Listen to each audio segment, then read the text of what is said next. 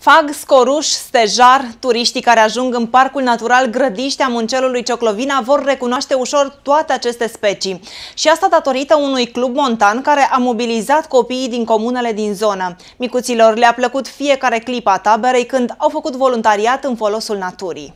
Parcul Natural Grădiștea Muncelului Cioclovina este recunoscut pentru că adăpostește cetățile dacice din munții Orăștiei, numai că cei de la Clubul Sporturilor Montane Hunedoara vor să arate turiștilor și alte minunății ale zonei, de la peșteri, la peisaj și miile de specii de plante. Așa că au mobilizat 10 de copii din zonă, dintre care 15 au devenit rangeri juniori.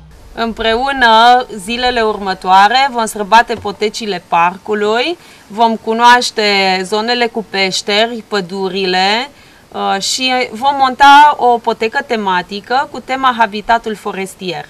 Și copiii s-au pus pe treabă. Timp de 5 zile, micuții rangeri au refăcut marcaje, au ecologizat zona și au amplasat panouri informative pentru turiști. Noi suntem echipa Junior Rangers! Am petrecut 5 zile minunate cu o grămadă de activități pentru protecția naturii.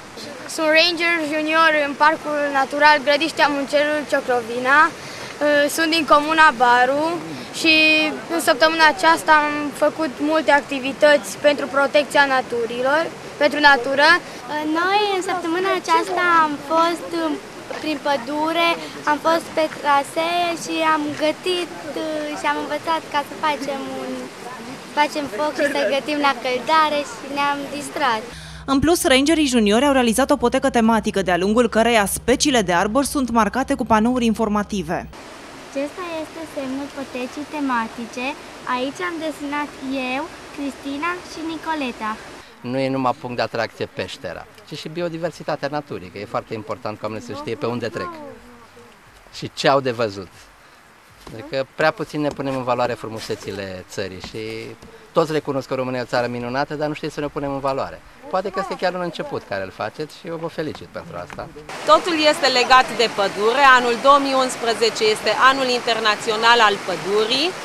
Împreună am amenajat o potecă tematică cu informații despre importanța habitatului forestier. Cel mai mare câștig al taberei este că a reușit să mobilizeze copiii din comunitățile rurale în protecția zonei. Uh, suntem uh, bucuroși că am putut să implicăm uh, elevi din comunitățile aflate în imediată apropiere a parcului și, sau chiar pe um, suprafața Parcului Natural Grădiște și suntem mulțumiți în urma activităților pe care le-am desfășurat, deoarece elevii s-au implicat activ. Dar micuții din tabăra de ranger juniori nu doar că au muncit, ci s-au distrat de minune. Au stat la cort, au trăit sănătos și au învățat să cânte la chitară. Noapte la ciuclo, noapte carpatină, buzele tale au gust de rășină, părul miroase a flori și a fructe, noapte la cioclo, noapte la munte.